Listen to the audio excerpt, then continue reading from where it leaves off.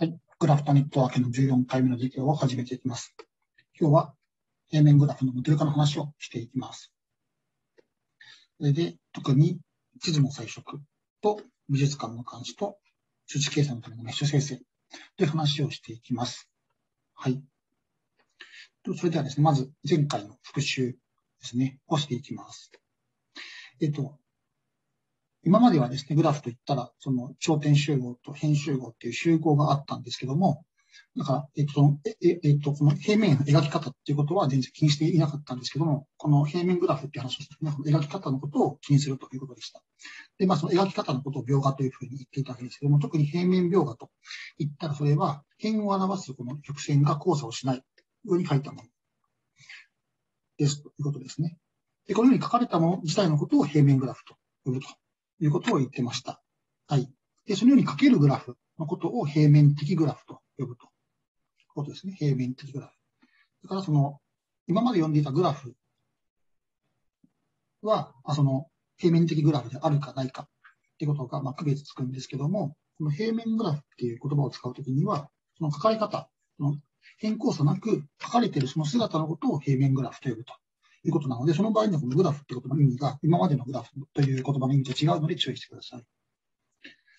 はい。で、ここの例で言うと、この K4 という頂点数4の完全グラフは平面的グラフです。なぜかというと、平面描画を持つからですね。はい。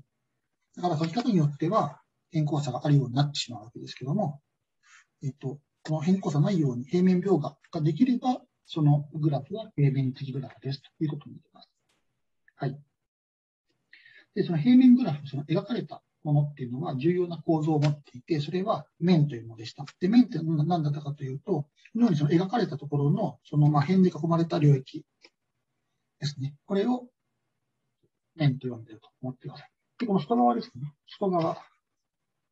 描かれたものの外側。この外側のことも面と言っていて、これまあ外面と呼ぶというふうに言ってました。はい。ですね。で、今この平面グラフ、平面描画には面が9個ある。わけですね。F1 から F9 まで9個あるんですけども、この面の数と頂点の数と辺の数、そして連結成分の数を関係づけているのがオイラーの公式と言われる等式でした。でそれが前回出てきた重要と書いてあるものですね。で、読み上げると、まあ、平面グラフに対して、頂点数が n で、辺の数が m で、面の数が f で、連結成分の数が k の時には、n-m プラス f イコール1プラス k という等式が成り立つ。まあ、特に k が1の場合、つまりグラフが連結だったら1プラス k2 になるので、この n-m プラス f は k と2になるということです。はい。で、これは重要な性質。平面グラフに対して成り立つ重要な性質だったわけですね。はい。で、えっ、と、それを使うと、例えば、えっ、と、頂点数が3以上の平面的グラフにおいては、辺の数というのが 3× 頂点数マイナス6以下になるってことがわかるということを言ってました。これも前回やりました。はい。だから、えっ、と、平面的グラフの辺の数っていうのは小さいんですね。例えば、あの、完全グラフ。完全グラフ、K 頂点数 n の完全グラフの辺の数っていうのは、ちょうど2分の1かける n かける n-1 なんですけども、だからその、えっ、ー、と、オーダーの意味で言うと、これはその、えっ、ー、と、完全グラフの辺の数っていうのは n に関して、頂点数に関して2乗のオーダーになってるんですけども、えっ、ー、と、平面的グラフに対しては、頂点数に対して辺の数は線形1乗にしかならないということがわかるだけです。はい。いいですか？で、まあ、ここまでが復習です。はい、よろしいでしょうか。ではですね、今日モデル化していくものの一つ、地図の彩色からやっていきます。でですね、地図の彩色って言われると、この平面グラフの話で、まあ、メジャーによく出てくる例なので、まあ、扱いたいんですけども、どういうことかっていうと、今これですね、日本地図ですね。えっ、と、都道府県が47ありまして、えっ、と、その地図を書いてるんですけども、この隣にある都道府県同士が違う色で塗られているようになっています。で、これ違う色で塗られているので、えっと、その県の、えっと、境、都道府県の境がどこにあるかこう分かりやすくなっているわけですね。まあ、ここら辺が、ここ見て、あ、これ岩手だなとか、こうすぐ分かると。この、もしこの、秋田との、秋田との部分ですと、岩手同じ色で塗られていると、なんかこの一つの、この、秋田と岩手がですね、同じ県のように思えてし、見えてしまうわけです。そういうことないように、これ色塗ってるわけですね。はい。で、今これはですね、赤と青と緑と黄色っていう4色使って、えっ、と、塗ってるんですけども、これはですね、実はあの平面的グラフの彩色の例になっているわけです。でどういうふうにして、えっ、と、この地図と平面的グラフが関連しているのかというと、まあ、次のように考えるわけです。でどう考えるかというと、えっ、と、この都道府県一つ一つに対して、この頂点を導入しまして、で、隣接している都道府県同士をこう辺で結びましょうとというふうにするわけです。で、このように作ったグラフに対して、えっと、前々前回ですね。前々前回行ったその彩色ですね。つまり、頂点に色を割り当てるんですけども、えっと、辺で結ばれている2つの頂点、隣接している頂点に対しては違う色を割り当てる。ということをすると、何が得られるかというと、この頂点に対して色が割り当てられるんですけども、その隣り合う、隣接する都道府県同士には違う色が割り当てられることになるわけです。で、それ、その頂点に割り当てられた色を、その都道府県の色だと思って塗ると、前のページのような、こういう、えっと、地図の最初が得られるという形になるわけです。で、ポイントは何かというと、このようにこの地図からグラフを作ると、このように作ったグラフというのは必ず平面的グラフになります。これは平面グラフになりますこれはその、描いてますからね。平面グラフになります。で、これ、まあ、どう作ってるのかってことは今からちゃんと言うんですけども、えっ、ー、と、それによって、平面グラフの彩色という問題が解ければ、この地図の色を塗るという問題が解けるという形になるわけです。で、そこで問題にされたのは、まあ、何色使えばこういう地図は塗れるんでしょうかってことと、あとは、えっと、あれですね。えっと、それどのように見つければいいのかということをまあ考えることになるわけです。はい。それで、まずですね、まあ、地図っていうのを、えっと、数学的にモデル化する必要があるので、こういうふうに見なしましょうと。地図というのは、平面上の領域を複数の部分領域へ分割したものとみなすということです。今ですね、このまあ、ホスト側に、のこの線をたどっていった、これは一つのなんか領域を表していると思ってほしくて、それをいくつかの部分領域ですね。この、これが一つの部分領域。ここの一つの部分領域という感じで、そういうふうに分けているというふうに思うわけです。でそうするとですね、今これはです、ね、大きな一つの領域を6個の部分領域に分けていると、分割しているというふうに見なすわけですね。で、これが地図であるというふうに思うわけです。だから、まあ、あの気分としては、まあ、これ、まあ、こういう国があって、国とか、まあ、なんか、まあ、そうですね、国に領域があって、それがなんか6個の、えっと、県とか州に分かれているというような、まあ、イメージを持ってください。で、一つ一つのその州、県がこの部分領域に対応するということです。はい。で、こういうものがあったら、ここからですね、えっと、グラフを作るわけです。で、先ほど言ったみたいにグラフ作るんですけども、どう作るかというと、この部分領域一つ一つに対して頂点を導入して、隣り合っている、えっと、領域、部分領域に対応する頂点同士を辺で結ぶということをする。で、えっと、ここでですね、隣り合ってるってことはですね、もう少しちゃんと定義しないといけなくて、何かというとですね、例えばこの場合はですね、ちょっとちゃんと書くんですけども、この下の方のですね、赤で書いてる領域と、えっと、青で書く今から領域があるんですけども、青で書く領域、これですね。この右側のこの領域。この領域はですね、えっと、ここのこの点で接してるんですね。点で接してる。で、点で接している場合には、この2つの部分領域は、えっと、隣接しているとはみなさないってことにします。あの線で接してる。線で接してるというのは、その、まあ、どういうふうに言うか難しいんですけど、一次元的に接してる。一次元的に、一次元的な部分を共有してる。だからこういう、この線ですね。こういうふうに、線を共有していたら、一部分でも、それは隣り合ってみなしましょうという形にします。はい。で、これはですね、皆さんが思うような、えっ、とですね、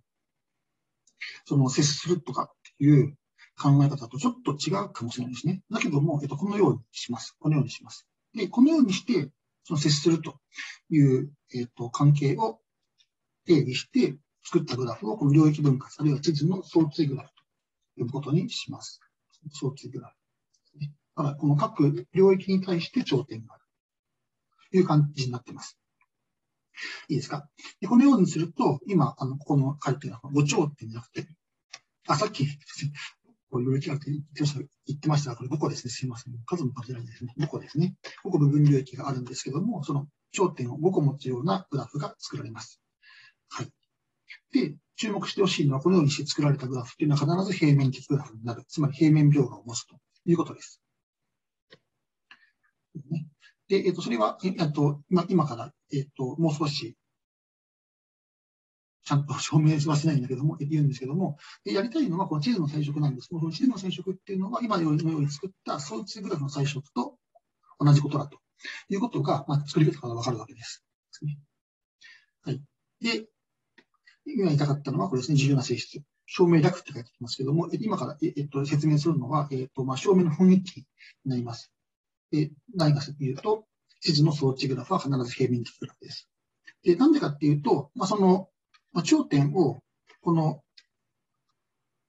部分領域に対応させるというふうに言ってるわけですけども、それはですね、だから今からするのは何かっていうと、このようにして作った装置グラフの平面描画を作ってあげればいいわけです。で、そうすればそのグラフは平面的グラフだとわかるので、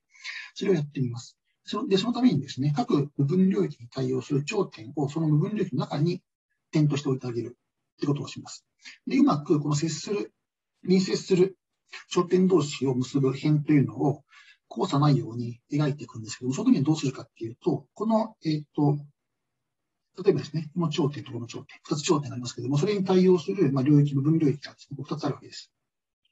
数字があるわけです。一個一個ずつ、大きい二つ。でそうしたら、その二つというのは、えっと、その、あるその線上で、その線を共有しているわけですから、その線を共有している部分から点を一つ持ってきます。点を一つ持ってきます。これ、いいかな？持ってきます。この端に持ってきます。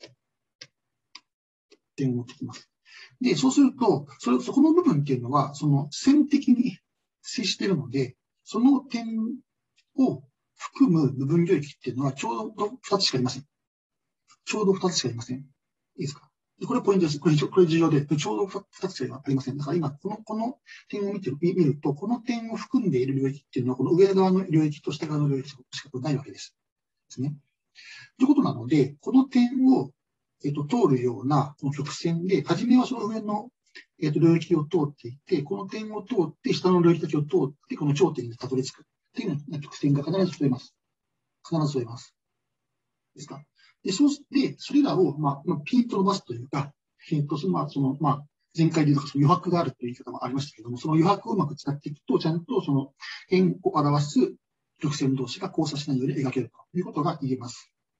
という形で、このような地図の長期グラフは必ず平面的グラフになるということが言えるようになるわけです。いいでしょうか？で、これはですね、先ほどその、この点で接しているようなところを、まあ、この辺で繋がないというふうに言ったんですけども、もしこれ、あの、こういうその点で接しているところを隣接すると見出してしまうと、これ平面的グラフであるという性質は成り立ちません。ので、いろんな話がですね、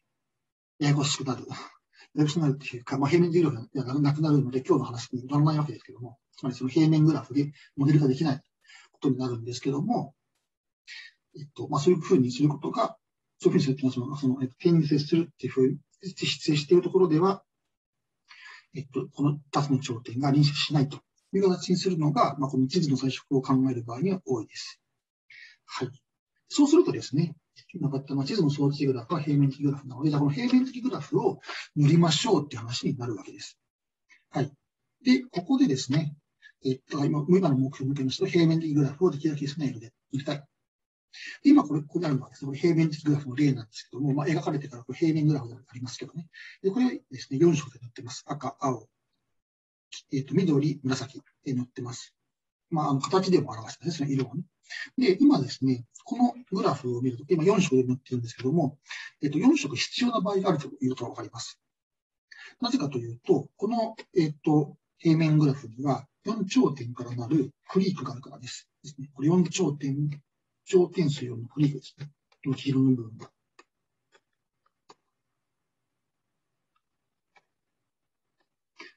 だからそうすると、あの3回前の話を思い出すと、頂点数のクリックがあったら、その、このグラフの染色数は、染色数は、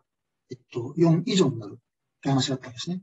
はい。だから今これ4色で塗ってるんですけども、まあ、この4色で塗ってるのは、これはまあ最適。つまり、えっと、このグラフの染色数は4であると。いうことが、この頂点数4のクリークの存在と実際4色で塗れてるということからわかるわけです。わかるわけです。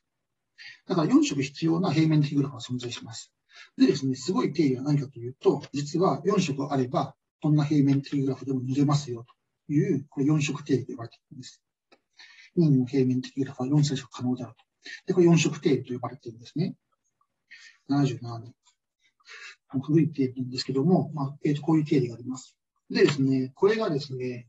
まあ、証明ここでできないんですけども、えっと、ここで、ここでできないだけじゃなくてですね、私もできないんですけども、えっとですね、えっと、証明は書いてですね、コンピューターを使った膨大な場合分けによるって書いてありますね。まあ、困った話ですね。まあ、このコンピューターによる膨大な場合分けを実際コンピューターにやらせてあげるっていう演習はあり得るかもしれないけど、ちょっとやりたくないので、やりませんが、まあ、私もやったことないからちょっとできるかどうかわかんないんですけどね。で、えっ、と、まあ、だからこれが何かっていうと、アッペル・ハーキンが初めに行った正しい証明で、このコンピューターを使った膨大な場合分けっていうのをやったんですね。実はですね、この4色定理と呼ばれる前、これ定理になる前はですね、4色問題と言われていてですね、多くの数学者が頭を悩ませていた問題だったんですね。この地図は必ず4色で見れますかっていう問題。で、まあ、それを解決したのはアッペルとハーケンなんですけども、ここに至るまではですね、いろいろとですね、間違った証明というのがあったんですね。で、まあ、それも面白い歴史ではあるんだけども、えっと、ただこの正しい証明でですね、このコンピューターを使った場合分けを行ったっていう、コンピューターを使って場合分けしたって言い方はいけないかな。んかその、まあ、コンピューターを使ってその場合分けを一つ一つ、えっと、検証していったことになるわけですけども、だからまあこれがそれ、その、まあだか人間が読めないわけですよね。で、そういうものを証明と言っていいのかどうかってことが、まあ、議論になるわけですね。で、まあ難しい部分ではあるんですけども、えっと、まあこの膨大な場合はですね、後に、この97年の論文、このロバートソン、サンダース、シーマー、トーマスの論文によって、かなり作品されました。で、この論文はですね、まあ、読むと、これもコンピューター使ってるんだけども、一応、その場合の数は、頑張れば人間でも扱えるよとかっていうことが確か書いてあったはずですね。だから、まあ、それで、まあ、割と、まあ、人の手による証明に近づいてきたかなって感じはするわけですね。で、えっ、ー、とですね、だからそのコンピューターによる証明っていうのは本当に証明として認められるのかってことは、だいぶ議論があってですね、まあ、それはそれで、いろいろと、なんか深い話、深いというか、その、あの、哲学的というか、倫理的というか、心理学的というか、政治的というか、そういう話があるわけですけども、えっ、ー、と、もう一個ですね、あの、このコックによる形式的証明があります。形式的証明っていうのは何かっていうと、その、もう初めから最後までコンピューターで証明を行っちゃいます。で、しかもその、あの、なんだろうな、その証明がですね、えっ、と、まあ、ある意味その、まあ、論理式のように書かれてることになるわけですね。まあ、そういうのをちゃんとこのコックっていうのをやってくれるんですね。証明支援系っていうふうに言ったりしますけども、その証明をですね、助けてくれるような、その、アプリケーションっていうのがいくつかあって、まあ、そのうちの一つがこのコックと呼ばれるものです。今他にもいろいろあるんですけども、で、まあ、それによって、その、初めから最後まで全部その、形式的にですね、書かれた、その論理で書かれた証明っていうのが一応できたっていう話もあります。だから、まあ、その人々は、まあ、あの正しいと思って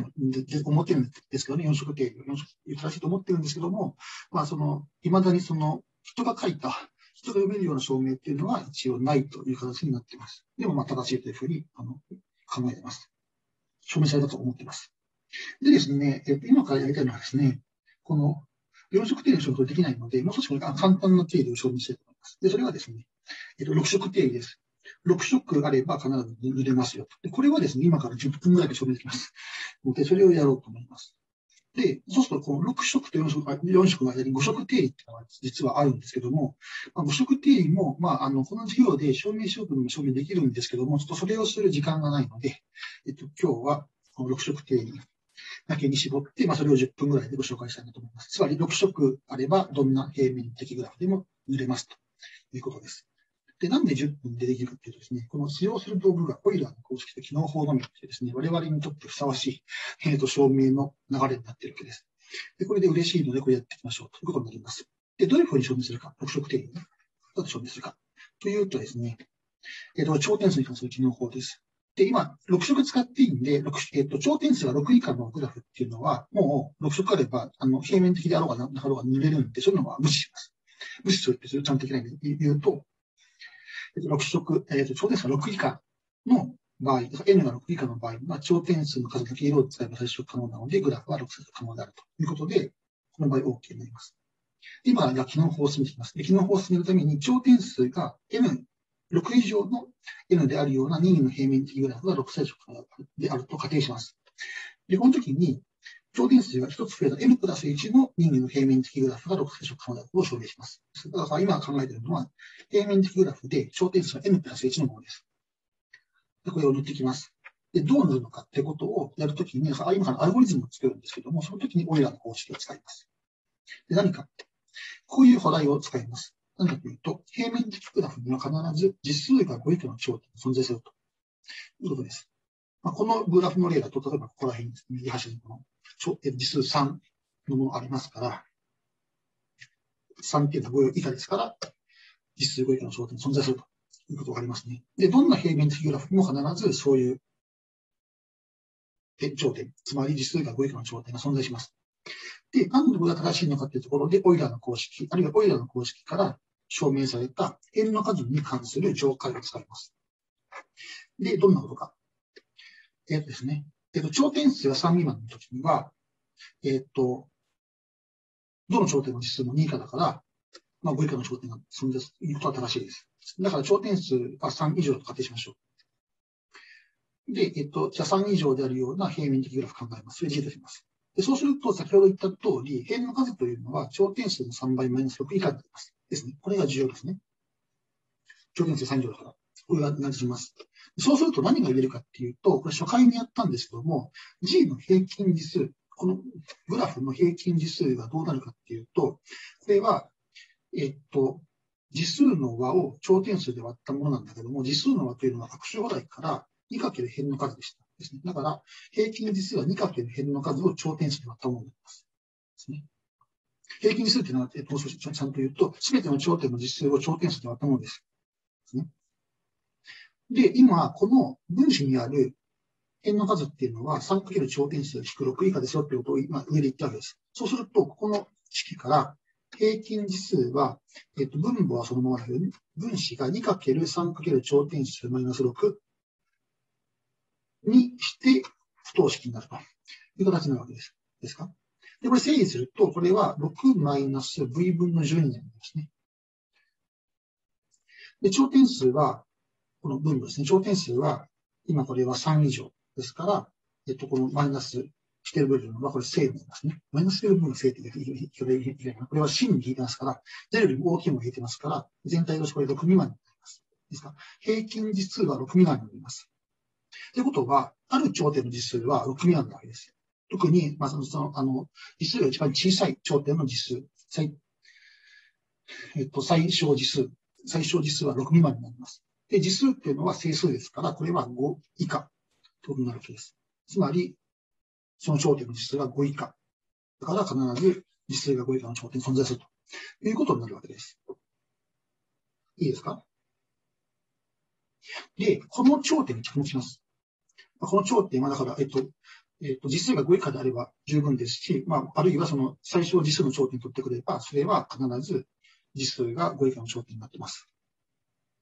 はい。で、それを持っていきましょう。今ですね、この頂点数が n プラス1の任意の平面グラフ考えているんですけども、平面的グラフ、平面的グラフ考えているんですけども、今のお題から実数5以下の頂点が存在するので、それを一つ持ってきて V とします。で、そのような頂点を取り除いた G-V というグラフを考えます。で、そうすると何が言えるかっていうと、元々のですね、この V が立った時のグラフ、これは平面的グラフなわけです。ただ平面描は持ってます。平面上に変更差なく書けるわけです。で、そのかけている状態から V っていうのを取り除いてあげる。まあ、V とそれに接続する辺を取り除いてあげると、何が得られるかっていうと、G-V というグラフの平面描画が得られます。得られます。得られますので、この G-V っていうのも、これも平面的グラフなんです。ですか？だから G-V は平面的グラフであって、なおかつ頂点数が N になっています。そうすると、機能法の過程から、この取り除いたグラフっていうのは、6最初可能だとわかります。まあ、これ、こ塗った気持ち、書いてね、6最初可能です。そうすると、何がわかるかっていうと、今、V を取り除いたところで6歳色、してるんですけども、じゃあここに V を戻してあげましょう。戻してあげます。でそうすると今 V のですね、実数は、V の実数は、V の G における実数は多くても、大きくても5だったんですね。たかだか5だったわけです。だから V の隣接頂点は G において5個しかないんです。これで。そうすると今、6色で塗ろうとしているものだから、この V の隣接頂点ですね、金棒という言い方がありますけども、この金棒の中に使われていない6色の中の1色があるわけです。で、それを V に使ってあげて、V を塗ってあげれば、全体として G の6星色が得られます。それが書いてるのが次のようですね。すねすなわち G-V の6彩色に、この前の6彩色に V を付け加えて、V の隣接頂点で使われていない色を G-V の6彩色で狙ったパレットから選び、その色で V を塗ることにより、全体 G の6彩色が得られますという形になって、めでたく全体が6彩で塗れましたということになります。いいでしょうか？で、これは機能法による証明だから、まあ、これはそのままアルゴリズムなわけですね。何を言ってるかというと、焦点として、その、えっと、実数が5以下の頂点があったら、それを取り除いて、残ったグラフに対して機能法を、えー、のの過程を適用するっていうのは、つまり再起呼び出しをするわけです。同じことをすると。で、それが濡れたら、VU 今の手続きを使って戻してあげると。いうことをすれば全体が濡れますということになるわけです。よろしいでしょうか。はい。で、これで6色定の証明できました。いいでしょうか。で、次の話はですね、美術館の監視という話になります。はい。で、これちょっと初回に出したかなと思うんですけども、えっ、ー、と、この306、小学生が第0回目ですね。360で目立たせる監視カメラを何個設置すれば、くまなく監視できるかっていう形で、まあ、こういうふうに美術館の監視をしたいまあ、だからその監視カメラをたくさん、まあ、たくさんにいくつか置きたいんですけども、まあ、監視カメラ置くのにもコストかかりますから、できるだけ少ない個数を置きたいかなって気もまあするわけですよね。で、まあそういうことをちゃんと考えようということになるわけです。それで、その時にですね、なんで平面グラフが出てくるのかっていうのは今のところまだよくわかんないんですけども、まあ、今からそれをやっていきます。で、そのためにはですね、まずこのなんか美術館っていうのはどういうものなのかってことをちょっとモデル化しようっていうふうに思います。でですね、えっと、まあ美術館を単純多角形としてモデル化します。単純多角形、これですね。その平面上に描かれた図形で、まあ、自己交差を持たず、穴も持たない多角形と思ってます。それは単純多角形と言います。単純多角形。まあ、単純多角形っていうね、言い方がいいかどうかっていうのは別なんですけども、まあ、あの、この用語がよく使われるので、そういうふうに言います。こういう多角形ですね。はい。で、これが美術館の一つのフロアを表していると思って、この一つのフロアを、その、監視カメラを使って監視したいということを表、考えていくということです。でですね、監視員、あるいはその監視カメラですね。監視カメラは点としてモデル化します。だからこの、まあ、このか、えっ、ー、と、なんて言えばいいのかな。この単純多角形としてモデル化されている美術館を、この点で表された監視カメラが監視するということになるわけですけども、で、えっ、ー、と、その時にですね、じゃあ、ここに今、この点のところにですね、監視カメラを置くとしたら、えっ、と、どこが監視できるのかってことをちょっと書いてみるとですね、まあ、色をつけるとこんな感じになると。これ今、あの、赤くしたところが、この黒い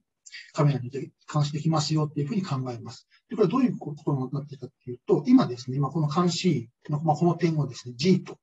書くことにするんですけども、えっと、例えばこの点ですね、これ今これ P と、これがこれ監視できるんですけど、これなんで監視できるかっていうと、この G と P をですね、結ぶ線分が、この、えっと、美術館の壁に阻まれていないからです。で、一応ですね、このカメラはね、どこまでもと、どこまでも遠くまで見渡せるとします。どこまでも遠くまで見渡せるとします。だけども、壁に阻まれたら見えないという形になってるわけです。だから、例えばですね、ここら辺ですね。この辺りに、ね、P って点があったら、これはですね、この G からは見えないわけです。それ何かといと、このこの壁にですね、阻まれるから。視界を阻まれるからです。いいですか？だから今赤くなってるのは、その視界に阻まれない領域を全部塗っていると思ってください。これ G から見える領域というふうに言います。で、まあ、見える領域なんで、可視領域と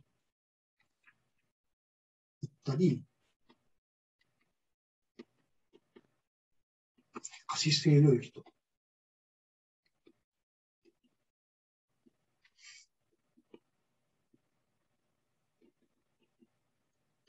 と呼ぶこともあります。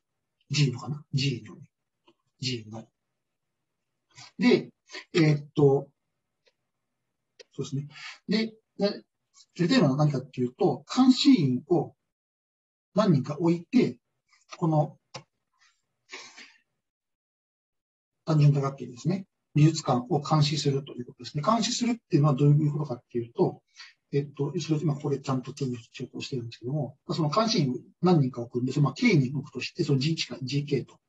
いうのがあるとしましょうと。その監視員の集合 G1 から GK が多角形 B を監視するというのはどういうことかっていうと、この多角形の任意の点 X に対して、ある監視員 GI が存在して、GI が X を見れることです。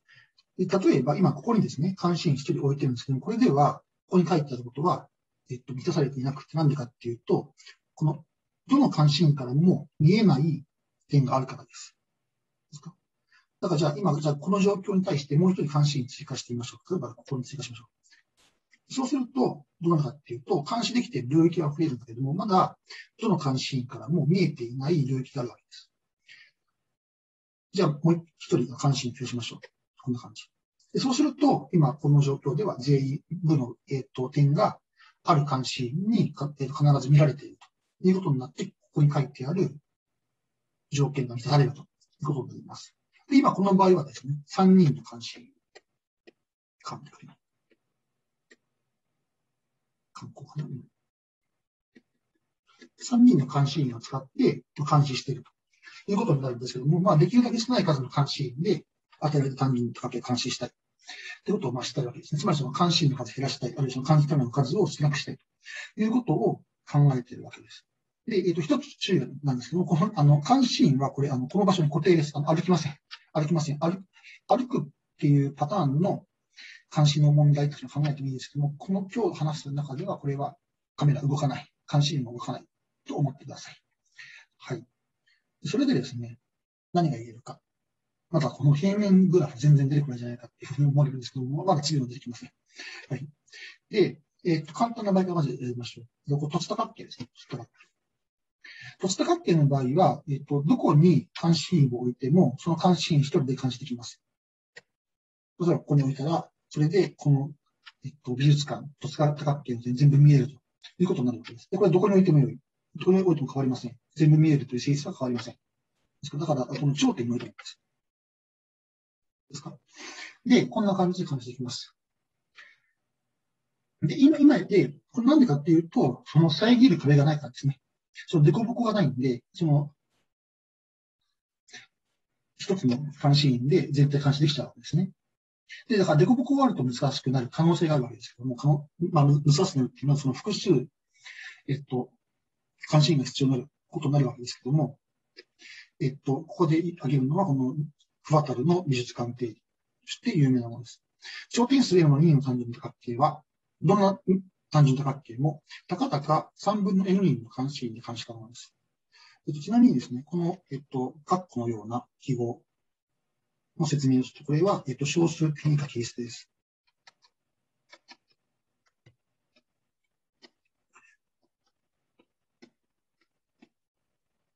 キリストですね。切って道が汚いから書き直すと、キリストですね。ですねまあ、ちなみにですね、この上についている場合、これは、えっと、小数点切り上げです。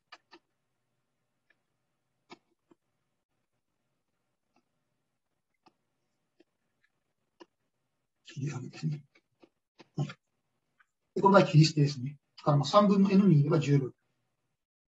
ということになります。この例の場合、この例の場合は、頂点数って言ってのは、この多角形の頂点数ですね。これは、えっと、この場合は何個かというと、えっと、1、2、3、4、5、6、7、8、9、10、11、12、13ですね。13、N 13です。で、えっと、13を3で割ると、えっと、4ちょっと。なので、それを小数で先に捨てると、これ4になると。だから、えっと、この多角形は、まあ、この上の定理が正しくすれば、4人いれば監視できますって言ってるんだけども、まあ、これ実際3人出てきてて、だからまあ、4人いれば十分だけど、実際3人出てきてしまってますよってことを言ってます。いいですか？でですね、これ今から証明していくんですけども、この証明の中で平面グラフ使います。っていう流れなんですね。じゃあどうやって使うのか。今から行う証明はこのフィスクによる証明で、これがですね、割とエレガントなので、これをご紹介しますということです。で、何をするか。今ですね、この2、2の単純多角形を考えてますから、2の単純に考えるわけですね。これ2の単純多角形です。これが2っていうか、まだあの適当にどんな多角形でもいいから持ってきます。単純多角形持ってきます。で、まあ、今からこれ、ここに書いてるものを例として進めていきます。で、何をするかというと、まず基本的に i が1。これを三角形分割します。三角形分割っていうのは、このな中身にですね、対角線を引いていって、中身を三角形で分割するということですね。で、その時に、えっと、新しい点を追加しない。ということをします。で、それをやるとこんな感じになります。これは、あの、いろんな三角形分割の中の一つを持ってきています。どんな三角形分割でも構いません。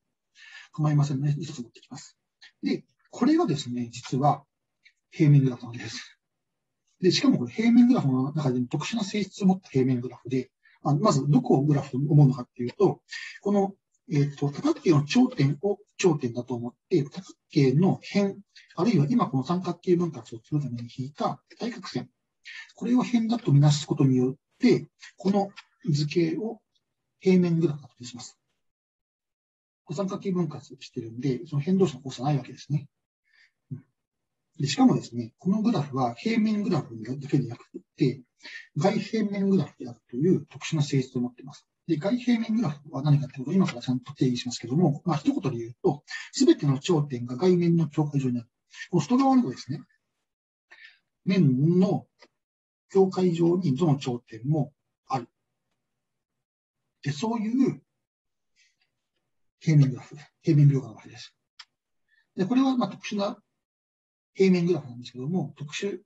定義が特殊なだけじゃなくて、これに付随する特殊な性質を持っています。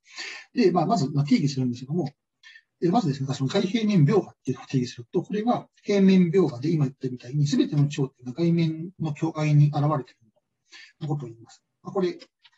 これ外平面描画の例です。だから、だから外平面描画でないものの例を挙げればいいんですけど、例えばですね、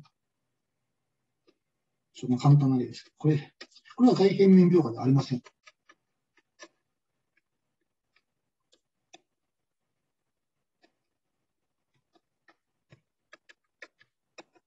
なんでかっていうと、この真ん中の頂点が外面の境界に現れていないからです。外面っていうのはここら辺なわけですね。外面っていうのは。外面ここら辺なんですけども、そこの、あ、そこに現れてるんですね。この真ん中の頂点に現れてないですね。だから、この右側に書いてあるのはこれ外平面描画ではないんですけども、この真ん中に書いてあるのはこれは外平面描画になります。で、外平面描画のことを外平面グラフと呼ぶことがあります。これはその平面描画のことを平面グラフと呼んでいたのと同じノリです。はい。それでですね、えっと、外平面グラフっていうのがあったので、外平面的グラフっていうのもあるわけです。で、外平面的グラフっていうのは、外平面描画を持つようなグラフのことです。ここに例がありますね。この左の方は、これは平面描画だが外平面描画ではないわけですね。一方で、このグラフ自体は別の描き方をすると外平面、外平面描画を持つので、これは外平面的グラフです。外平面的グラフです。ですか？ですかね？で、先ほどのその三角形分割、単純多角形の三角形分割っていうのは外平面グラフなんです。もう一回見ましょう。それも、まあ、作り方からわかる。ですね。この外側の部分に全ての頂点出てきてまして、なおかつ変更差がない。じゃあこれ、これ外平面グラフなわけです。いいですか？で外平面グラフどういう性質があるかっていうと、こういう性質があります。任意の外平面的グラフは3生成可能です。先ほどですね、平面的グラフは4生成可能っていうふうに言ったんですけども、実は外平面的グラフに限ると3生成までできちゃいます。まあ、これ例なんですけども、これは、えっと、先ほど言った通り外平面グラフで、の頂点を赤と緑と青の3色で見てます。でですね、まあ、これ、この任意の外平面的グラフが3接触可能っていうのは、まあ、いろんな証明法があって、まあ、一つはですね、4色定理を使うと簡単に証明ができるっていうのがあるので、まあ、それを使って演習問題解いてもらってもいいですし、実はまあ4色定理を使わない証明もありますから、まあ、それを試してもらっても、試すっていうの頑張って見つけてもらってもいいかなと思います。はい。で、だからこれ3接触可能なんで、えっと、これ3接触塗ってみます。塗れたとしましょう。今、こんな感じで塗るわけですね。そうすると何が言えるのかってことを順番に考えていきます。ここまでいいですか？だから今、えっと、やってるのは、この美術館を表している単純多角形を三角形分割すると、それが外平面グラフになるので、その外平面グラフの頂点を3色で塗りましょうというふうに言ってます。で、これはですね、三角形分割なので、この至るところにですね、この三角形があるんです。三角形っていうのは三頂点からなるクリックですね。で、クリックのところでは、そうそういうその頂点数そのクリックのところでは3色全部使う必要があるわけです。使う必要があるわけです。赤、青、緑全部使う必要があって、なおかつは全体が3色で塗れてるっていう、そういう性質を持ってるわけですね。で、今ですね、この外平面グラフ、頂点数30です。で、頂点数30で、その30個の頂点を赤と青と緑で塗ってるので、どの、どこか一つの彩色クラス、色の数、色で、どこが、どれか一つの色で塗られている頂点の数っていうのは、33で割った10以下になります。必ず。だから、何を言ってかっていうと、全部で頂点30あって、それをその3つの最初クラスに割ると、えっ、と、平均で1つの最初クラスは10個の頂点を持ってるわけです。だから、どこか1つの、えっ、と、だから、え頂点数が一番小さい最初クラスの頂点数っていうのは10以下になるわけです。だからこの場合は、これですね。青の頂点数は10以下になります。緑もそうなんですね。緑もそうなんですね。もう10以下になっているような最初クラス、これ必ずあります。で、何をするかっていうと、そういう、今言ったのこれですね。だからその、一般化すると、最も使われている色の頂点数っていうのは3分の n の小数点以下を切り捨てたもの以下になっているわけです。だからこの場合は、だからその、青の頂点数はそれを目指している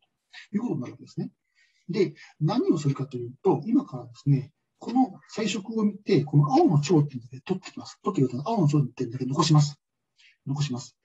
こんな感じになります。で、何をするのかっていうと、この青の頂点のところに関心を置くんです。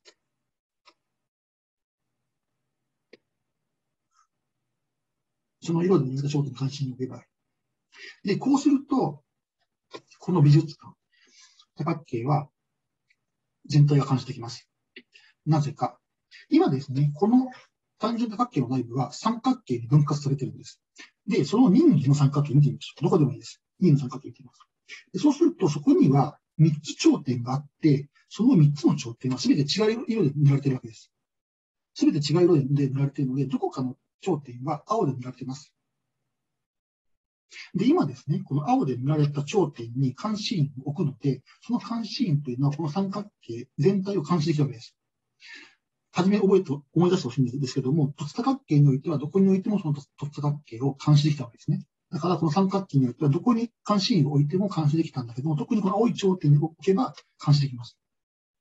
という性質が、この全ての三角形に対してないってるわけです。三角形の中の一つの頂点は必ず青で見られていて、その青のところに監視員が置かれているので、その監視員によってその三角形を監視されます。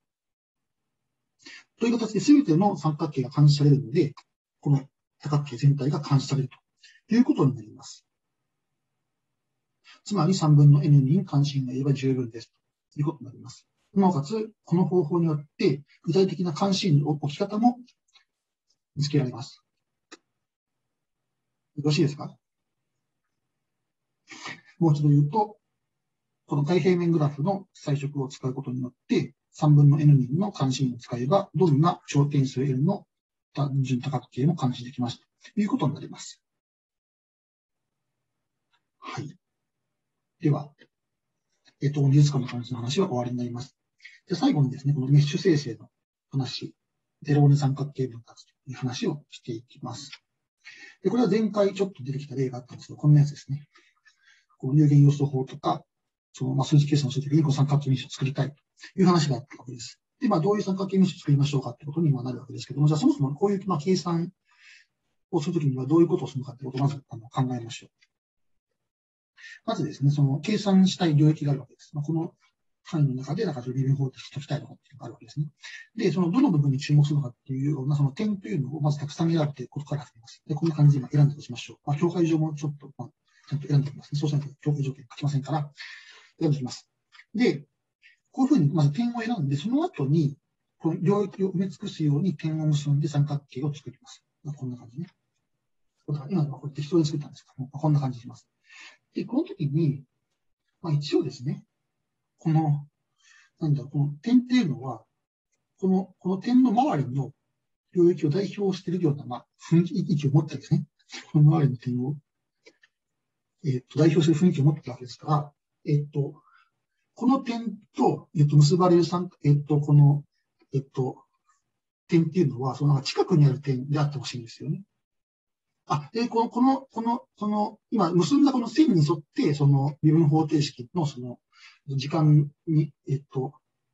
ステップカバー、次の時刻における、えっと、値を更新するかということをやっていくわけです。で、その時には、この、まあ、グラフの意味で言うと、この点の隣接頂点を見て、計算をするかということをやるわけなので、その、すごく遠くのですね、点を見て更新しようとすると、なんか変なことが起きちゃうかもしれないわけですね。本来は近くの点を見て計算したいので、できるだけこの近くの点を結ぶように、こういう三角形の辺っていうのは持っていきたいわけです。しかしですね、今この、えっ、と、作り方ではそういうことが満たされていなくって、このすごく長い辺とかですね。ちょっと今これ辺が取ってませんけども、もうすごく長い辺とか、ここら辺ですね。こうあったりとか、まあ、ここら辺もありますね。ちょっと長い。ここら辺も長いです。あこうなんかこういう辺があって、まあ、こういうのがあると、よくここら辺も、ね、こういう辺があったら、まあ、良くないかなって感じは、まあ、するわけですよね。するわけですよね。で、まあ、これ今、長い辺って言ってるんですけども、まあ、長さに着目するんじゃなくて、この一つ一つの三角形の平べったさに注目しましょう。だからまあ、長い辺ができちゃうっていうのは、まあ、こういうあの平べったい三角形、平たい三角形ができてしまうこととして、まあ、えっと、まあ、この二つが本当に同じかどうかということは、わかんなくて実際言えないんですけども、えっと、まあ、その、近くっていう言い方を考えていくと、ちょっと問題が難しくなるので、この平たい三角形ができないような三角形分割作りたいなっていう問題だとします。でそうすると、そのまあ近くの点同士が結ばれたような三角形分割できるかなと。あ三角形分割って言ってるのは、このその領域を埋めるように点を結んで三角形を作ることを三角形分割って言います。けども、えっと、でそういうものを作りたいと。だからこの平たい三角形ができないような三角形分割を作りたいと。ということで、今から導入するのは、このデローネ三角形分割と呼ばれるものです。今ここに来ているのは、これ作った点のエレメントに対するデローネ三角形分割と呼ばれるものです。でそうすると、そうすると、先ほどの、えっと、三角形分割に比べて、その先ほどの言い方で言う、その平たい三角形ができてないということがわかります。ですね。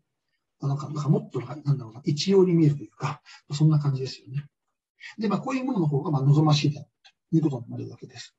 で、そもそもじゃあこのデローネ三角形分割っていうのはどのように定義されるのかということと、それがどういう性質を持っているのかということをご紹介して、それが実際にこの平たい三角形ができないような三角形分割になっているんだよっていう話を今からしていきます。よろしいでしょうか？で、そのためにですね、えっと、デローネグラフというのを定義します。それはですね、デローネグラフですね。で、えっと、今から考えるのは平面上の点集合 P ですね。そこ点集合って今後言ってきますけども、今後言う点集合だから全部有限点集合だと思ってください。有限点集合。だ本来有限点集合と書くべきでしたけども、えっと、えっと、あ、普通、ただ単に点集合と書くと無限かもしれません。だから無限だと思わないでください。今後、あと20分ぐらいは点集合と言ったら有限点集合と思ってください。ということになります。あ、それは、ちょっと嘘なんだな、しまった。えっ、ー、と、ちょっと嘘の場合、えっ、ー、と、そうじゃない場合があるので、えっ、ー、と、この P ですね。この P は必ず有限点集合だと思ってください。はい。で、その時に、これですね。P に対するデローネグラフといった次のようなグラフの描画のことを指します。だから描かれたグラフのことをします。で、何かっていうと、頂点集合がこの P です。これ、レーダーの P です。で、えっと、この P の2つの点、PQ が直線分で結ばれるか結ばれないかってことを考えます。で、結ばれるのはいつかっていうと、これですね。この条件が成り立つとき、その時に書きます。PQ を周上に持ち、この PQ 以外の点を周上にも含まない円が存在する場合。周上にも、その周上にも内部にも含まないということですね。周上にも内部にも含まない円が存在するときに作ります。で、まあ実際これ作ってみるとどんな感じかっていうと、まあ例をまず見せます。こんな感じですね。これがエローネグラフです。で、この各辺が、ここに書いてある性質を満たすわけです。で、例えばですね、これかな？この辺を見てみると、えっ、ー、と、こういう円があるわけですね。で、この円はどういう円かっていうと、今ですね、この2つの点を P と Q としてるんですけども、P と Q は周上にあるけども、それ以外の点を含まないような円がそうです。いいですか？だからこの辺はありますよというわけです。で、別にどう見てるのここですね。今、じゃ、ここを P、ここを Q とすると、この P と Q だけを周に持ち、他の点を含まない円が存在すると。形になります。ですか。でですね、例えばこの周りの辺ですね。周りの辺。これも、えっと、この性質満たしていて、それはなんかこう外側にこうなんか膨らんでるですね、こういう円を考えれば、確かにこの外側の辺っていうのも全部なくちゃいけないんだなってことがわかります。いいですか？から、まあ、これがデローネグラフですね。で、まあ、例えばじゃあ例見てみると、キネチがどう見ればいいかなどう見ればいいかなどこ見ればいいかなじゃあ、じゃあ今これ今赤で結んでるんですけども、この P、これを P、こっち下を Q としたときに、この P と Q は辺で結ばれない。で、なんでかっていうと、この P と Q を通る円っていうのは必ず別の点を含んでしまう。こんな感じで、ここら辺ですね。別の点を含んでしまうから。だから、今は、まあ、これ一つの円取ってますけど、これどんな風に円を取っても、なんか別の円ですね。なんかこんな感じで。取っても、やっぱり含んでしまう。ので、えっ、と、この赤いところ、P と Q は辺で結ばれませんということになる。直線分で結ばれません。結ばれませんということになるんですね。いいでしょうかで、こんな形でデローニグラフっていうのは定義されます。で、このデローニグラフっていうのが重要な性質を持つんだってことを言ってるんですけど、まず、このデローニグラフっていうのは平面グラフです。デローニグラフは平面グラフ。つまり、辺の交差が存在しない。ですね。で、まあ、これちゃんと証明しようとすると、ちょっとややこしいんですけども、えっ、ー、と、まあ、証明のアイデアだけご紹介します。円のコースがあるとしてしていきます。じゃあ、こんな感じで、今デローデグラフの中に変更差があるとしましょう。そうすると、先ほど言った通り、この、えっと、点だけを周上に持って、他の点を、えっと、含まないような円が存在するわけです。でそれは、この縦の線に対して、えっと、辺に対しても成り立ってますし、この横の辺に対しても成り立っているという形になるわけです。つまり、こんな感じになってるんですね。この二つの点だけを周上に持って他の点を含まないような円。まあ、今これ円じゃじゃ見えま、円に見えませんけども、まあ、これ、あの、矛盾を導こうとしてるので、円にはまあ書けないわけですね。で、まあ、こういうのがあって、特にこの円というのは、この他の二つの頂点が中に含まない。っていう格好になってるわけです。いいですか？で、同じように、この二つの点を周上に持つ円があって、それは他の点を内部に含まない。中に含まない。っていうふうになってるわけです。そうすると、この2つの辺は交差してますから、この2つの辺も交差するんです。交差するというか、4点で交差します。4点で。1、2、3、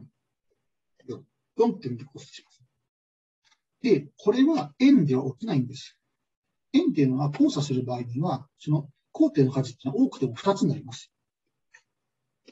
もうこれ、円に見えないようです。円は交差する場合、その交点の数は多くても2つです。あ、えっ、ー、と、一致する場合は違いますけどね。完全に一致する場合は、その全ての点で交差してますけども、重なっちゃってますけども、その同じ円でない場合には、重なったとしても、その、えっ、ー、と、交差してる点っていうのは多くても2つです。それなんでかっていうと、円というのは二次方程式で定義されるからって言っちゃいけないな。っていうふうに言っちゃいけなくて、二次方式定義されるというと、誰にも同じになっちゃう。今のは説明よくなくって、今の説明は、却下して、えっと、正しいわけで言うと、円っていうのは交わる場合は多くても2点で交わります。だからこの4点で交わるということは、これは起き得ないわけです。だからこれ矛盾なわけです。だからこのような変更差は存在しないということになります。ですね異なる2つの円が4点以上で交わった場合の矛盾。だから、変更差存在しないということが言えます。だから、このゼロ年グラフは平面グラフなんです。この時点で、えっ、と、嬉しいんですね。何が嬉しいかっていうと、その先ほど言ってたその、その三角形分割を作りたいと言っていたんですけど三角形分割っていうのは、そもそも変更差ありありませんから、ただこのデローネグラフっていうのは確かに、その、あの、変更差がないグラフなんだなっていうことになって、まあ、三角形分割になんか近づいた感じがするわけですね。で、実際、どの4点も同一線上にないとする。っていう、この条件がいるんですけど、どの4点も同一円状にないとすると、デローネグラフの面は必ず三角形です。今、デローネグラフは平面グラフだっていうことが分かったので、その平面グラフに対しては面というふうに定義できるわけです。で、その面は外面を除いて必ず三角形です。この例そうですね。どの外面以外の面も三角形なんです。どの4点も同一円状になるという条件がいるんですけども、その時には必ず三角形になります。で、なんでかっていうと、まあ、これも証明の仕方いろいろとあると思うんですけども、まあ、こういうふうに考えると分かりやすいかなと思うような考え方を今からご紹介します。で、何かというと、面が構成される理由を考える。例えばですね、ここに面があるんですけども、なんでここに面があるんだろうと考えます、で、この面っていうのは、まあ別に言うとすると、この3つの辺があるから、その面ができているとということになるわけですね。じゃあ、どのようにこの3つの辺ができるのかと考えてみましょう。で、まず、えっと、イメージからお伝えします。今ですね、まあ、この1、2、3、8個点があるとして、ここの、実はですね、この2つの、あ、こっち色がまずいかな。えっと、この2つの点、これ PQ とすると、えっと、この2つの点を結ぶ線分担、実はそのデローネグラフの辺に辺に辺になります。で、なんでかというと、それはですね、この P と Q を通って、周上に持ち、他の点を含まないような円が存在するかですね。こんな感じなわけです。で、これ円なので、この今赤く書いてるところ、これは円の中心です。円の中心です。円の中心です。で、今ですね、この2つの点を通る円で他の点を含まない円っていうのは、ここに書いてる青い円だ円だけじゃなくて、もっとたくさんあるわけです。で、もっとたくさんあるんです。で、それ全部書いてみましょう。まあ、全部書けないんですけども、まあ書いてある。そうすると、その中心というのは、今ここに書いている赤い線分上を動きます。で、この赤い線分とは何かっていうと、実は、えっと、P と Q の垂直二等分線上の線分です。そうですね。なんでかっていうと、この P と Q からの距離が同じ点っていうのが、この円の中心になるからです。ですね。だけども、この垂直二等分線上の点がすべて、この考えている円の中心になるわけではないです。で、何をちょっと、えっ、と、想像してもらいたいかというとですね、今この P と Q、もともと、この、えっと、この P と Q を、P と Q を通る円があったんですけども、で、その中心があったんですけども、この中心を少しずつ先ほどの垂直二等分線上、垂直二等分線に沿って、えっと、動かしていくんです。で、動かしていくと、この、えっと、中心は、まあ、右に行ったり、まあ、左に行ったりするわけですね。で、どこまでいけるのかっていうと、その限界があるわけです。でどこが限界かっていうと、この円が他の点に届くまでは、この中心を動かせるわけです。で、この中心をもっと右に動かすと、そこでできる円っていうのは、この、今このと、その、この円を止めたですね、点を含んじゃうことになります。何を言ってるかっていうと、今ですね、ここに書いてる青い円っていうのは、この青い円の存在があることによって、この PQ が、えっと、デロネグラフの辺になるんだっていうことの証拠になったわけです。この赤い部分の線分が。ですね。で、今ですね、じゃあこの左に動かすってところを見ると、えっと、ここで、この、この中心に止まっているんですけども、このこの中心は何かっていうと、この PQ 以外のもう一個の点と R としますけども、この R っていうのが、この円の上に乗った瞬間に、まあ、この中心の、が動いているこの垂直二等分線上の動きが止まるわけです。ですね、そうすると何が起こるかっていうと、今ですね、この、この円、赤で書けるかな赤は見て、ピンク書けるかなこの円ですね、この円があるんですけど今この円の円周上には、この PQR の3点しか載ってません。なんでかっていうと、えっと、P の4点が同一円状にはないからですね。そうすると何が、そのことから何がわかるかっていうと、今ですね、この PQ の垂直二等分線上をこの中心は移動してきたんですけど、例えばここからですね、P と R の垂直二等分線上にこの中心を動かすことができるできるようになるわけです。でそうすると何ができるかっていうと、ちょっとそのその中心をそっち側に動かしたけど、どういうことが起こるかっていうと、これ今ピンクの円が別の円に変わるわけです。で、別の円に変わってどんな感じになるかっていうと、うまく書けるかどうかが自信ないけども、書こうとすると、書けないなって。こんな感じになるわけです。こんな感じになるんです。そうすると、それちょっと動かすことによって、PR だけをこの周上に持って、え、他の点を含まない円ができます。いいですか？これは何を言ってるかっていうと、実はこの P と R もディローネグラフの辺なんだってことがわかるわけです。もともとこれ PQ が辺でした。PQ 辺でした。で、で同じことをやると、この Q と R も辺なんだってことがわかるわけです。いいですか？で、これによって、あ、この PQR っていう面ができていることがわかるわけです。三角形ですね。つまり何かっていうと、この、この赤いですね、この辿るってことをやっていて、やっていたらどっか止まるわけです。で、止まったところで、必ず三角形ができて、そこが面になっているということがわかります。もしこれがですね、止まらずにずっとこの無限の彼方まで行ってしまったら、それ何かっていうと、この PQ っていうのの、こちら側のその右側の面っていうのが外面になっているということを言います。を意味します。だから何かっていうと、このプロセス、この、えっと、この垂直二等分線上を動かしていて止まったら、止まったところで三角形の面が見つかる。あるいは止まらなかったらそこで、こちら側のこの点の、この止まっていかなかった側の面は外面であるということがわかるということで、えっと、すべての面が外面であるか三角形であるかというのがわかる。だから外面以外の面は三角形ですということが結論として言えるということになります。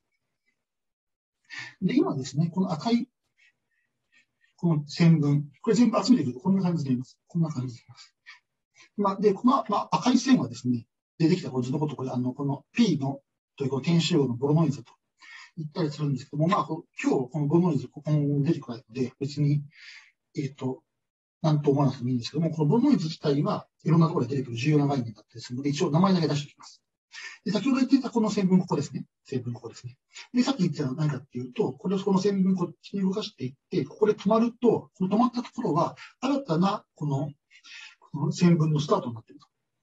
いうことなんですね。で、で新たな線分のスタートがわかるので、この二つの円も実際にこのデローネグラフの辺なんだとわかると。いうことです。で、先ほど言っていたその無限の判断っていうのは、こういう場合ですね。こういう場合ですね。こういう場合。この二つの点の主軸に動物にとって、片方はどっかで止まるんだけども、もう片方は無限の判断に行ってしまうので、その時はこちら側の面は外面になっているということになるわけです。いいですかだから、その、どの4点も統一円状にないという条件から、この止まったところ、止まったところで起きている、その円に着目してみると、そこには三角形の面が必ずあるということが言えるということになります。じゃあちなみに、えっと、4点が同一円状にあるとどういうことが起きるかっていうと、こんな感じになります。これ4点が同一円状になる場合で、で、そう、これは、えっと、ここら辺の面が三角形になってないんですけども、これ実際どういうことになってるかっていうと、こんな感じになっていて、この4つの点っていうのは同一円状、この青い円ですね、にあるという感じになってるわけです。で、他のこの四角形の面ありますけども、ここも、この4つの点が同一円状になるという感じになっています。でしょうか。そうすると、えっと、先ほどのそのボロノイズをここに書いてみると、どんな感じになるかというと、こんな感じです。こんな感じになっています。そうすると、何が言えるのかっていうと、今ですね、例えばですね、えっと、こ例えばこの辺に対して、こちら側から順番になんかその中心を動かして、これ止まるとですね。止まるとするわけです。でそうすると先ほどの見方をすると何かっていうと、今この、この、えっと、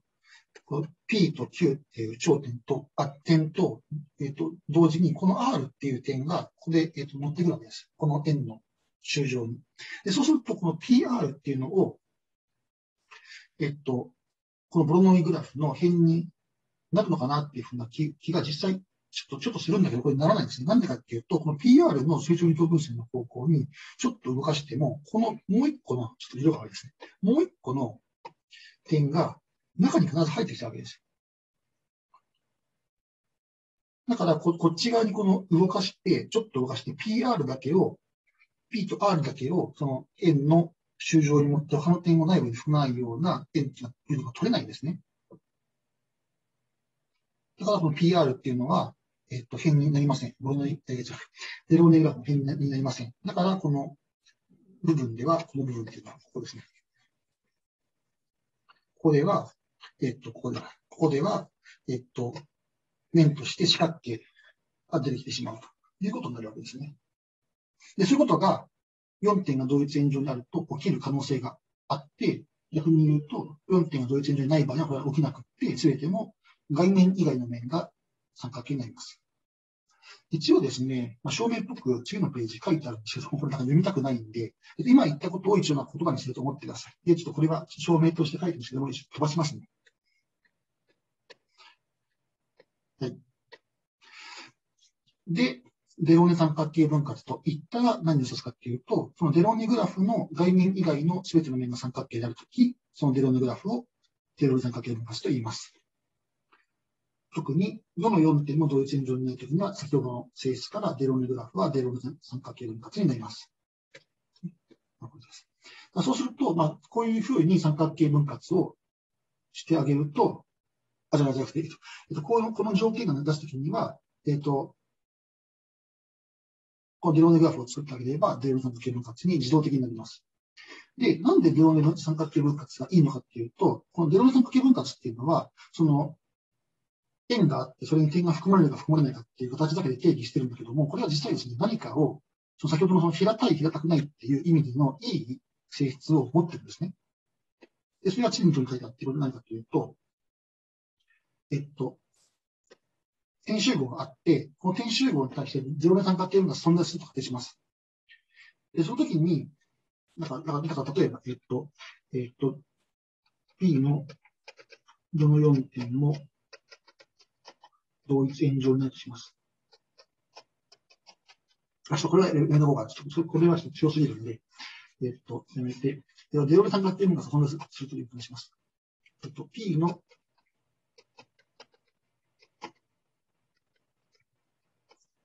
三角形分割が存在するということにします。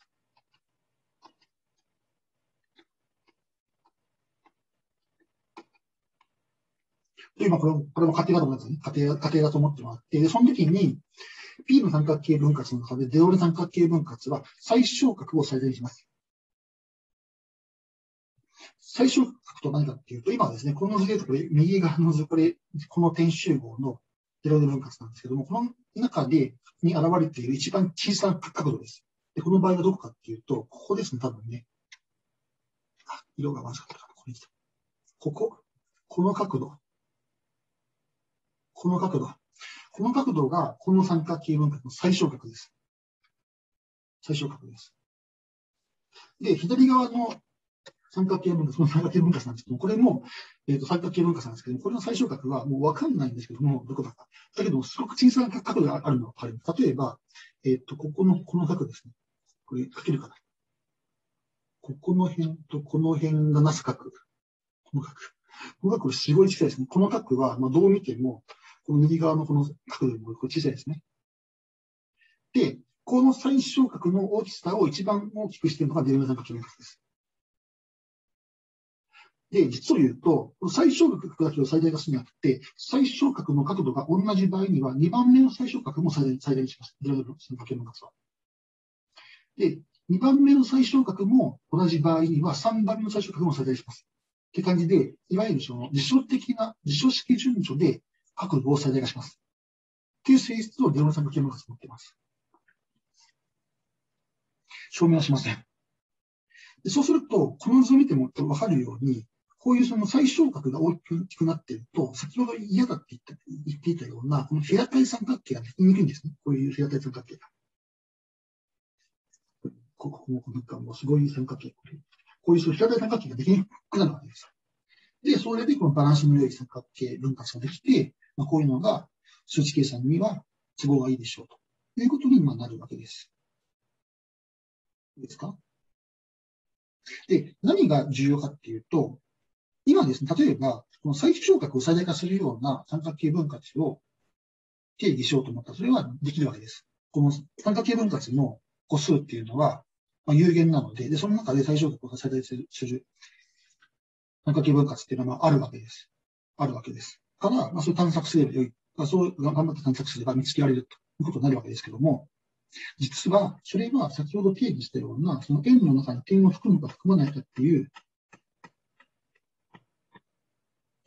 含むか含まないかっていう性質で、含んでるんだ。で、決まるんだということが重要です。なんでかっていうと、この定義から、このデローネグラフの構成が多項式時間でできるってことは簡単にわかります。なんでかっていうと、この一つ一つの、この頂点のペアが、の間に、えっと、辺が来てるかどうかっていうことが多項式時間で判定できるからです。判定できるからです。まあ、どのようにやるかということは、ここでちゃんと言わない、詳しく言わないんですけども、できるからです。で、最小角を最大にするような三角形分割見つけたいっていうところから始めると、その最適化問題っていうのはどんなに難しいかとかっていうことはよくわかんないわけですね。だけども、こういうその、なんですかね、組み合わせ的な性質、その円に含まれてる、含まれてないとか、そういう性質だけで、このゼロネグラフが定義されているので、この計算っていうのは、割と簡単なわけです。簡単なわけです。で、そこがポイントなんです。実にこのデローネ三角形分割とかデローネグラフっていうのは簡単に計算できます。今、その、まあ、多項式時間って言ったんですけども、実際はこう点の数を n, n とすると、点の数 n とすると、オーダー n ログ n で計算できます。デローネグラフ、デローネ三角形分割なので、非常に高速なんですね。これ、ソーティングと同じ計算時間ですね、ここ。非常に早いんです。だから、いろんなところで使われるっていう理屈があります。だからそのアルゴリズムが速いとか、その、えー、っと、概念が単純であるとかっていうのは、それが広く使われるか使われないかってことに大きく影響を及ぼします。だから今言ってたように、その平たい三角形を少なくしたいとか、えっと、近い頂点を結んで、えっと、うまい三角形を作りたいとかっていうと、途端に話は難しいかもしれないんですけども、こういうその単純な、えっと、条件で構造がこの場合はグラフが定義されていると、それによっていろんなことが簡単になって、この場合例えばその早いアルゴリズムができたりしますし、計算も楽になったり、えっと、だから計算が早いというのは何かっていうと、その、たくさん点があっても、簡単に、あの、そういう三角形が作れるところになるんで、非常に嬉しいわけです。はい。という形の話が、この両の三角形の数の話の元になります。そうですね。そうなります。で、えっと、この性質ですね。この性質は、またこれ、もまあ、なんでこうなのかってことは、まあ、別の面白さはあるんだけども、ちょっと、まあ、時間は、残りの時間で証明できると思え思えないので、証明はしません。だから性質だけご紹介します。はい。では、今日のまとめですね。えっと、今日は平面グラフを用いてモデル化を行うっていう話を3つやりまして、それから地図の最初から。二つ目は美術館の監視。これはその外平面グラフっていう、えっと、概念も出てきました。で、三つ目は数値計算のメッシュ生成で、ここではデロネグラフとかドローネ三角形分割というものを定義しました。はい。で、これで今日の授業は終わりになります。ありがとうございました。